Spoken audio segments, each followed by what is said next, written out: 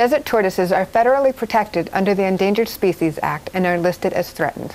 This means that they are protected from being removed from the wild, from being touched or harassed in any form. Extreme temperatures and low rainfall here in the desert make for a very harsh life for the tortoise. But with increase of human presence, they are now faced with new threats. Development, meaning that they lose habitat, raven predation, they're removed from the wild because people want them as pets, and then they also have to worry about crossing the road where they can be hit by vehicles.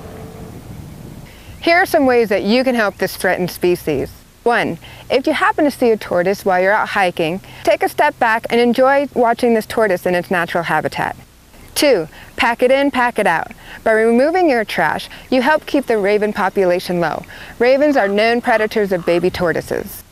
Three, stay on marked routes and obey the posted speed limits. By driving slow, you will be more likely to see tortoises that may be in or on the roads.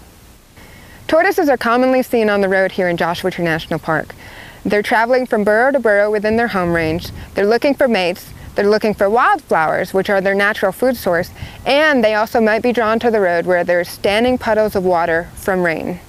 Only in an emergency situation where a tortoise is in imminent danger of being killed by a vehicle on the roads do we suggest moving it.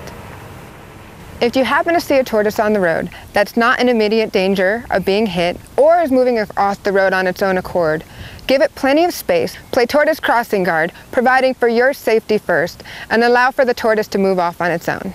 In the unlikely event that you do have to move a tortoise, here are a few simple instructions. 1. Use a barrier if available. This could be gloves, it could be a t-shirt, or it could also be a page from the newsletter. By using a barrier, this helps decrease the spread of the upper respiratory tract disease that we can carry from tortoise to tortoise. And if you don't have something to use, that's okay. The most important thing is to get the tortoise out of harm's way. The general public will rarely, if ever, need to handle multiple tortoises in one day. 2. Move it low and slow. Pick it up with both hands, keeping it level and a few inches off the road. You want to walk it slowly to the side of the road.